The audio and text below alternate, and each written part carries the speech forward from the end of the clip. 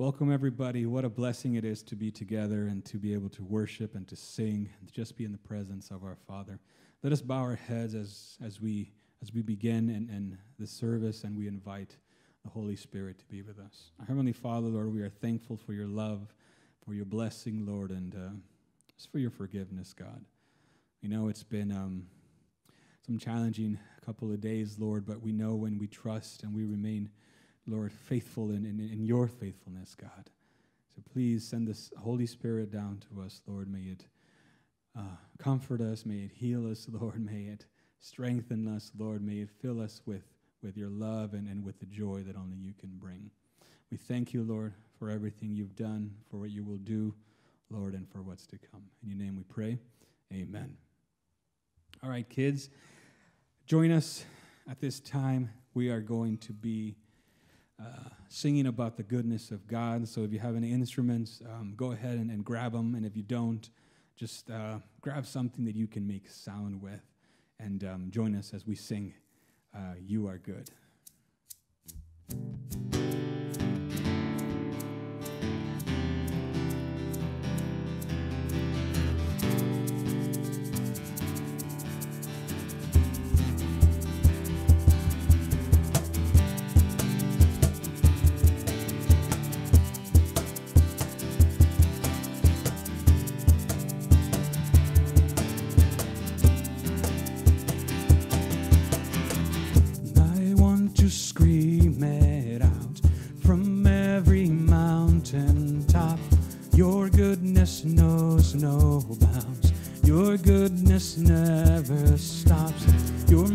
She follows me. Your kindness fills my life. Your love amazes me. And I'll sing because you are good, and I'll dance because you are good, and I'll shout because you are good. You are good, good to me.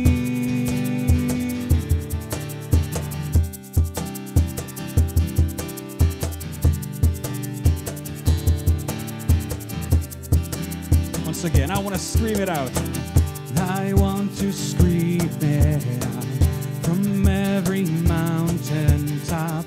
Your goodness knows no bounds. Your goodness never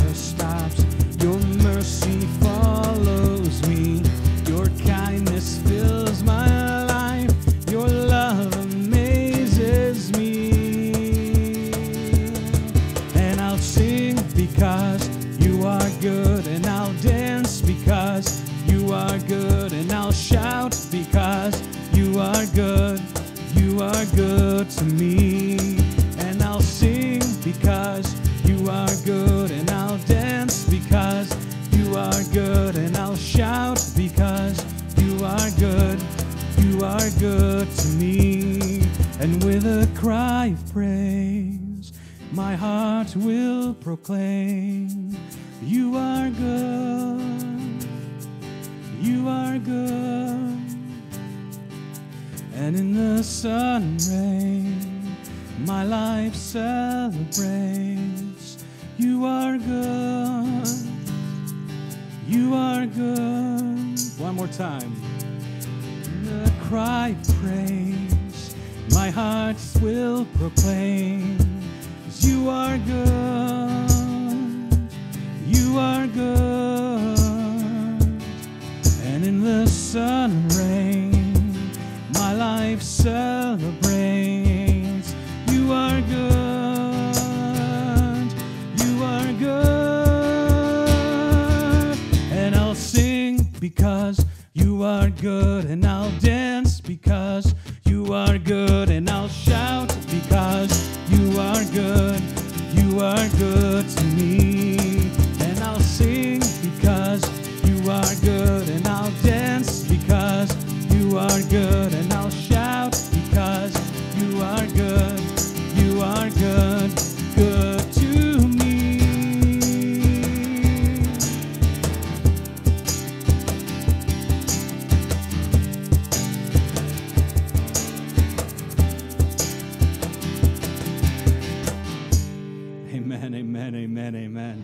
The goodness of the God never stops, family.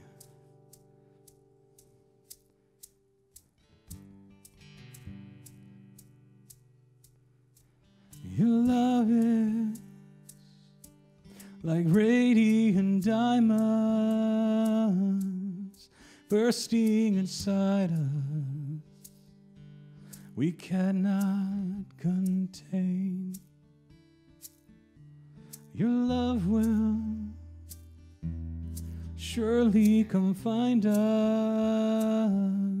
like blazing wildfires, singing your name. God of mercy, sweet love of mine, I have surrendered to your design.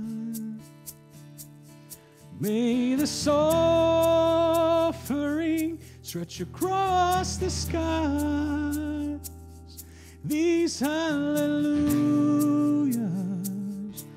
be multiplied. Your love is like radiant diamonds bursting inside cannot contain. Your love will surely come find us like blazing wildfire, singing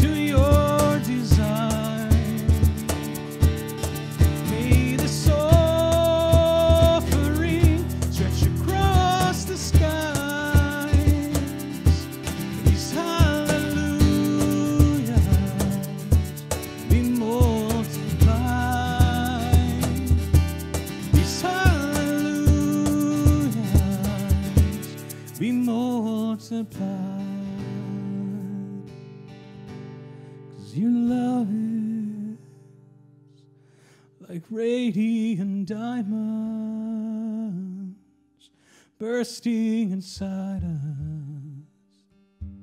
We cannot contain. Your love will surely come find us like blazing wildfires,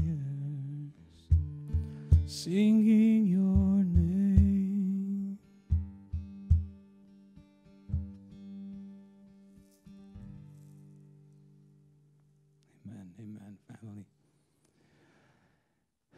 During these times, we all know we can always rely on God. We know that God is our foundation, God is our rock, God is our cornerstone. And I invite you, family, to turn right now to your Bibles. Turn to Psalm 118. It's a beautiful psalm. It's a beautiful psalm of redemption. It's a beautiful psalm of, of God's faithfulness and power. And we're going to read from verse 24 and on. I apologize, verse 21 and on. And it's going to read like this I thank you that you have answered me and have become my salvation. The stone that the builders rejected has become the cornerstone. This is the Lord's doing. It is marvelous in our eyes. This is the day that the Lord has made. Let us rejoice and be glad in it.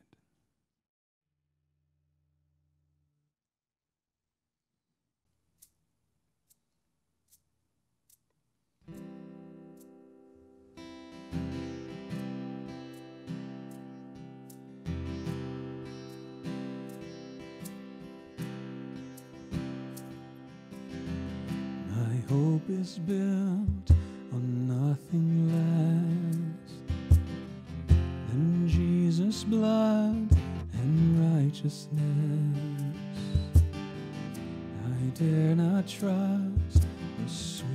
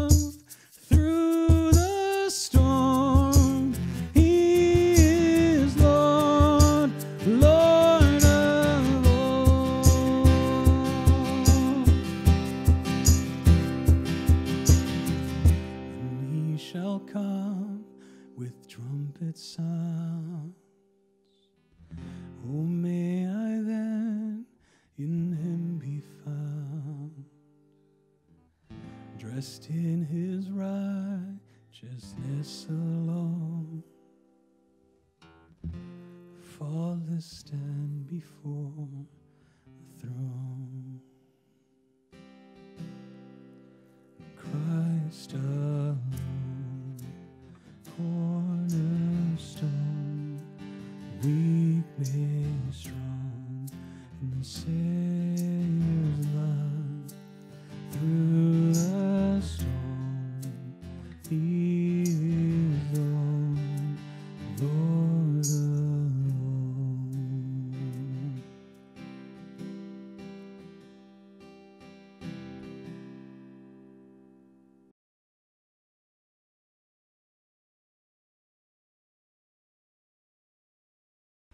Sabbath, church family. Um, we want to share with you a Bible verse that has brought us comfort through these difficult times. And it is found in Isaiah 43 1 through 4. I've redeemed you. I've called your name. You're mine. When you're in over your head, I'll be there with you. When you're in rough waters, you will not go down. When you're between a rock and a hard place, it won't be a dead end. Because I am God, your personal God the Holy of Israel, your Savior. I paid a huge price for you. That's how much you mean to me. That's how much I love you. And this is a beautiful um, reminder of how much God loves us. And it is our prayer that His love, His mercy, and His peace will be the anchor that holds us through the rest of our lives. So that when we do face trials and tribulations, we know that God is on our side. Feliz sábado familia, los extrañamos mucho y los queremos muchos. Pasen buen día. We love you and we miss you. Okay, family, it's time for the word. Let's have a word of prayer as we get ready to get into scripture this morning. Dear God, once again, thank you for your scriptures. Thank you for this moment that we have together. We pray that you may speak loud and clear, Lord, and that we may we may find in you someone that we can trust. We may remember, Lord, that that you are there for us, that you, when options run out, that it is you that we can turn to. Give us a faith, give us a strength, Lord. Give us the ability to trust. In Jesus' name, amen. Yo, family, so as many of you guys know, I have, I have three little ones. I have three children, a 10-year-old, 7-year-old, and then I got Josiah, who is two. Josiah is an amazing, amazing little boy. He is becoming so independent and so just resourceful. This man just, if he has an issue, if he has a problem, this guy is a problem solver by nature, right? So a couple weeks ago, this dude started waking himself up in the morning, you know, crawling out of his crib. The very first thing he does is he reaches for a diaper. Who reaches for a diaper? He reaches for a diaper, he gets a pair of shoes, usually his Jordans, he loves his Jordans, and he walks over to our bed and wakes us up, hands us a diaper, hands us a Jordans, and says, essentially, go ahead and wipe me, put on my shoes because I'm ready to go on for the day. And I love the fact that he is so, almost so self sufficient, right? He is so resourceful. If he ever wants something, dude climbs on anything to grab it, or he will figure anything out, right? He has figured out screens, controls, absolutely everything. But there's one thing that he cannot figure out yet. There's one thing that he just is not able to do on his own, and that's put on his shoes. For some reason, he cannot put on his shoes. He, he's even attempted to put on his diaper before. I mean, you name it, he's tried it. But putting on his shoes has just been hard for him. It's just something that's outside of his ability. No matter how much of a problem solver he is, he just cannot put on his shoes. Family, I, I don't know if this resonates with you, but I tend to be a problem solver myself. Whenever there's an issue, I can pretty much come up with a list of things that I can do to fix that issue. I can pretty much uh, tell you where to look online or where to find a tutorial. I mean, we can figure out how to solve some problems. But there are some problems in life that there's just simply no easy solution to. No matter how much ability you may have, no matter how much uh, talent or how resourceful you may be, we all got that pair of shoes, right? We all got that issue that we cannot do for ourselves. We all have some things that are outside of our control, that no matter how much we know or how able we're able, how, how capable we are able to be, right? How capable we are, it's just simply out of our reach. And we cannot fix or we cannot solve certain issues. Family, it seems like we are in a season in life where things have spun out of control.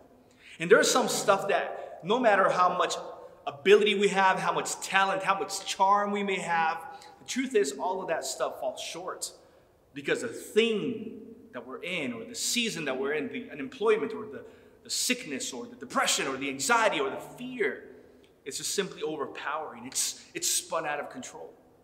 I want us to go to a book of the Bible, the book of Isaiah, to look at the, a brief story of a king by the name of Hezekiah. Follow me to Isaiah uh, chapter 38, verses 1 through 3, as we're going to look at this, this, this, this, this brief account of of a very crucial moment in Hezekiah's life. Isaiah 38, verse 1, gives us a glimpse into the moment when Hezekiah, the king, a good king in Israel, by the way, I mean, this, this king got rid of idols. He got, he got rid of altars. He was a good king in the eyes of God. He had been sick and he, he was on his deathbed. And now he calls a prophet by the name of Isaiah to come in to speak over him. Scripture gives us a glimpse of what that conversation looked like, what it, what it looked like to have been in that room where Hezekiah was, where Isaiah came in and they had this amazing exchange having to do with Hezekiah's own health. By this point, Hezekiah had lost control of his health. It seemed like he had just spiraled out of control and he found himself in a deathbed and enters in, in enters Isaiah, right? To have this conversation with him, to let him know what God thought about his disease. Isaiah 38, verses 1 and on, begin reading this way. And in those days, Hezekiah became sick and was at the point of death. And Isaiah, the prophet, the son of Amos, came to him and said to him, Thus saith the Lord, set your house in order, for you will die. You're not going to recover out of this. Yo, so watch this. Hezekiah looks at his health and he realizes this thing is spiraling out of control. He reaches out to the prophet. The prophet comes in and essentially tells Hezekiah, um, you're, you're dying. Like there's no coming out of this thing. There is, there is no positive prognosis. Your life has spiraled out of control. Have you ever gone through a season where your life just simply spirals out of control and, and you've lost you've lost all sense of direction, you've lost all sense of confidence. It just seems like nothing you do or nothing you used to do could ever bring you back to this place where you used to be, this place of wholeness. That's that's Hezekiah. And maybe, maybe, maybe that's a season you are in right now, right? With unemployment or with sickness, or maybe you're just You've lost control because you've been grieving these crazy transitions we've been going through, through as, as a society. Maybe you've lost control as well. So Hezekiah's in his deathbed. He calls over Isaiah. Isaiah comes on in. And the big reveal, the big moment where Isaiah discloses the truth to this king, essentially goes like this Hezekiah, I'm sorry to break it to you, but you're going to die. You're going to die. And now, what God is telling you to do is to put your house in order. Go ahead and write your will. Make sure that everything you own is well distributed among those people close to you because essentially you're in the final chapters of your life. So Isaiah comes in and tells Hezekiah, You're going to die. So imagine if Hezekiah felt like things were out of control, now they were really out of control, right? Because he was about to lose his very but there's something in this story that, that just caught my attention. Notice how Hezekiah was dying, but he was not yet dead. He, he, was, he was about to be done, but he was not quite done, right? So, so it seems as though when, when, when, when the prophet Isaiah tells him, hey, put your house in order, it seems as though Hezekiah still had a little bit of time to do just a little bit more praying.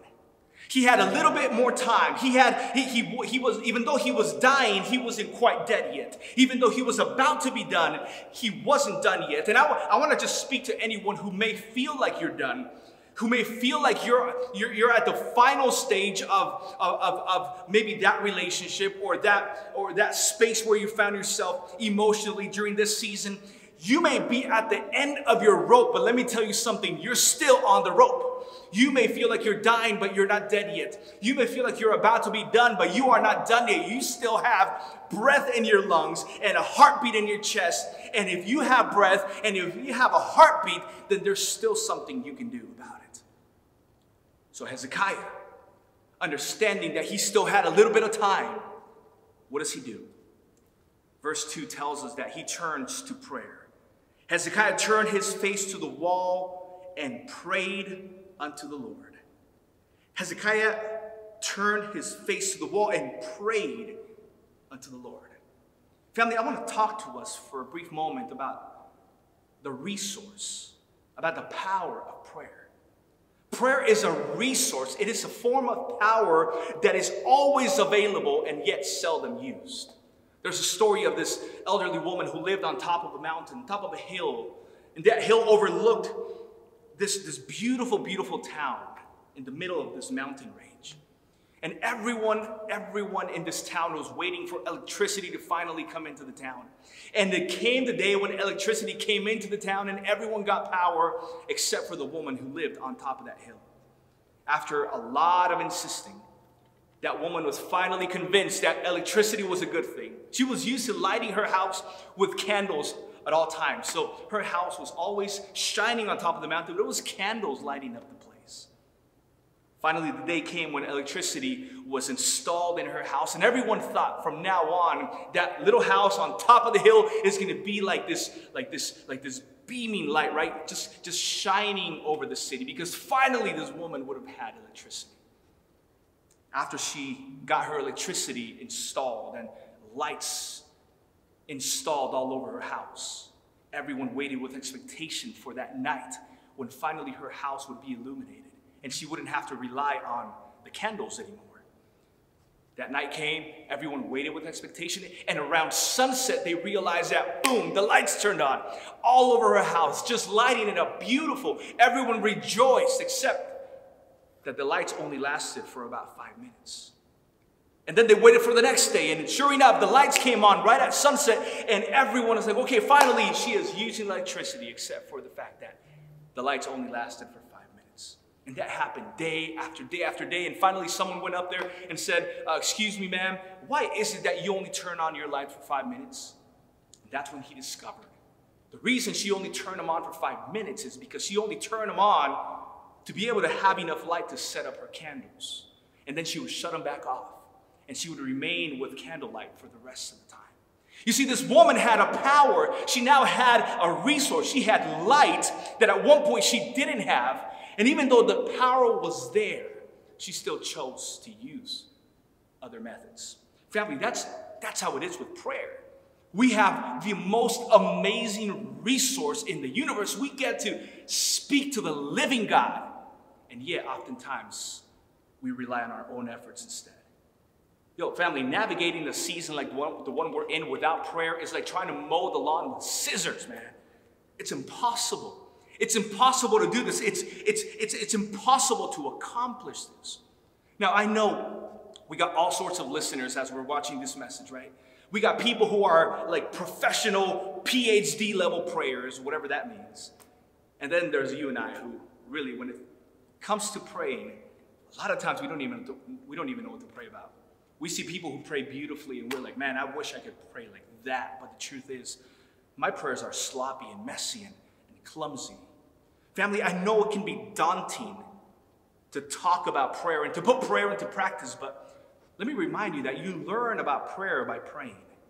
You learn how to pray by praying. You learn by doing the thing.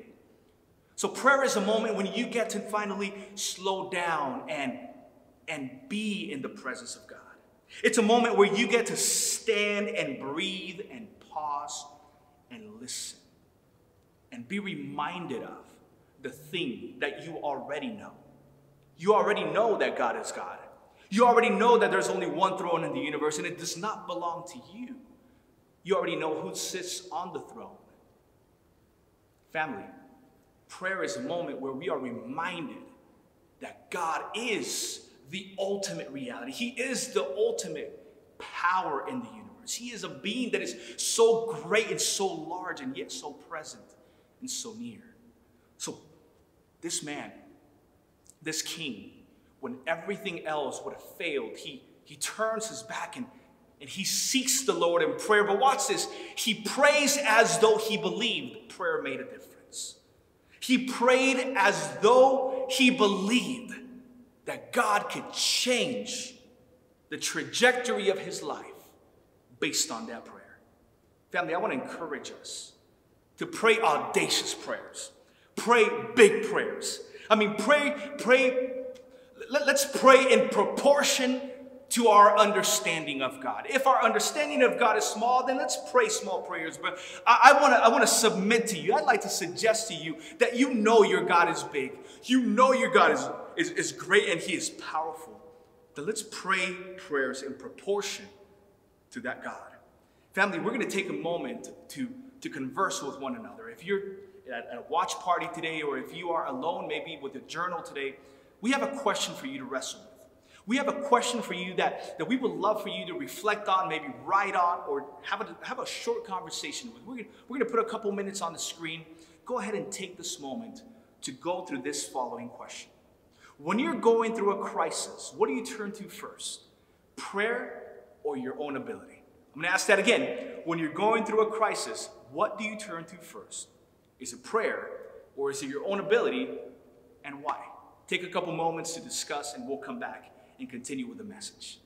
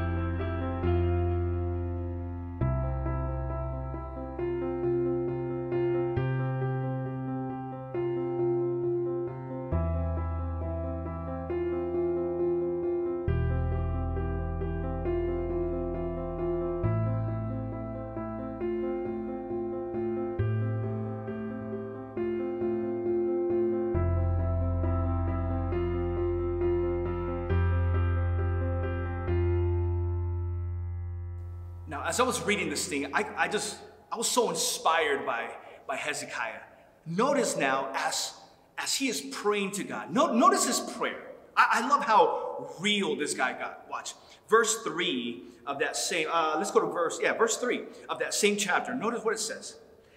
And that Hezekiah said, Please, Lord, remember how I have walked before you in faithfulness and with a whole heart and have done what is good in his sight. Like, I, I, know, you know, we got to be humble before the Lord. And I, I know, you know, even our greatest works are as filthy rags, right? The Bible says. But I just love how real this guy got. He essentially comes before the presence of God and says, Lord, look, I've been trying. I've been doing my best. I know I, I, I'm on my deathbed and I know I have a death sentence, right? I know my prognosis, my prognosis is not looking good, but the truth is, I, I've done my best. I've been trying to be faithful to you. I've been trying to serve you where everyone else has failed. I have tried to do what is right. I love the fact that this guy is not hesitating to just simply be himself before God. He comes clean. He keeps it real. Lord, come on. I've been trying to do good. I've been trying to be faithful. He opens up his heart right? He shows God his resume and says, Lord, come on, just take that into consideration. Take that into consideration. Take the fact that I've been trying my best into consideration. And watch how verse 3 all of a sudden ends and says, And Hezekiah wept bitterly. Not only was he real about just simply opening up his heart and saying, Lord, come on, I've been doing my best here. I've been trying my best. Hezekiah actually breaks down in tears. Family, when was the last time you just broke down before God? When was the last time you just broke down and, and showed him the, the, the, pain in your heart and the, the anxiety in your heart and the depression in your heart? When was the last time you showed him the dark places in your heart? See, a lot of times, whenever we talk about prayer, we think of the beautiful prayers that we've heard or the beautiful and adorned language that people use around us or in the church. But, family, prayer is just opening up our hearts as though to a friend. And this guy just, look, God, I've been doing my best. And then all of a sudden, he just breaks down and weeps. I, believe God honored the fact that Hezekiah kept it real.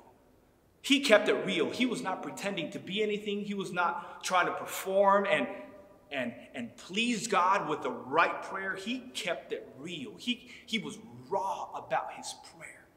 And family, I, I, love what one of my friends says, and, and I'll repeat this uh, here, I've said it here in church before. God can't help the person you're pretending to be. He can't come and help the person you are pretending to be. God is not going to help the mask you wear before Him. God wants you to remove that mask. God wants you to remove the veil that we have placed before God and us. God can't help the people that we're pretending to be. And I think Hezekiah got that. He got that. He, he came clean. He said, Lord, I've been trying. I've been doing my best here. And then he just breaks down and weeps, but it's not like a cute weep. He weeps bitterly. There's, there's a groan, right? There's, there's depth to the tears of Hezekiah. Now, before we wrap up this, this Sabbath, I want us to, to, to look at one detail. This one thing that happens as Hezekiah is in prayer.